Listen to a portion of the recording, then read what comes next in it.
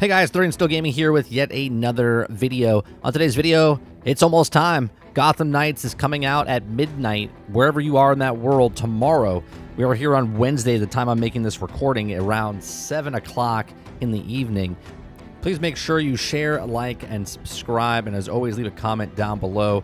The game comes out tomorrow. Reviewers are going to be telling you everything what's right, what's wrong. You're going to agree or disagree with whoever. Uh, right now, there's leaks all over the place. There's people playing the game as I speak right now, either on Twitch or YouTube. So make sure if you don't want any spoilers that you guys do not tune in to any of those channels. I want to know what you're going to do the very first thing.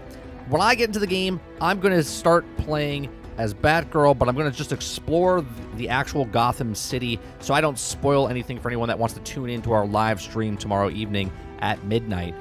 What are you going to do? Are you going to play the story? Are you going to go into co-op? Are you going to, you know, battle the, the, the villains with a friend? Are you going to go and just explore? Are you going to... What are you going to do? Let me know in the comments section down below. The question I want to ask you guys is, what do you think the story is going to be? And what I mean by that is, on a scale to 1 to 10, where do you think the story is going to fall for you? Obviously, this is subjective. It's going to be different for everybody. Put it in the comment section down below. Where do you think the story is going to fall for you? Do you think it's going to be a 10 out of 10? Do you think it's going to be a 5 out of 10? Do you think it's just going to be mid-ground? Let me know down below. Also, the gameplay.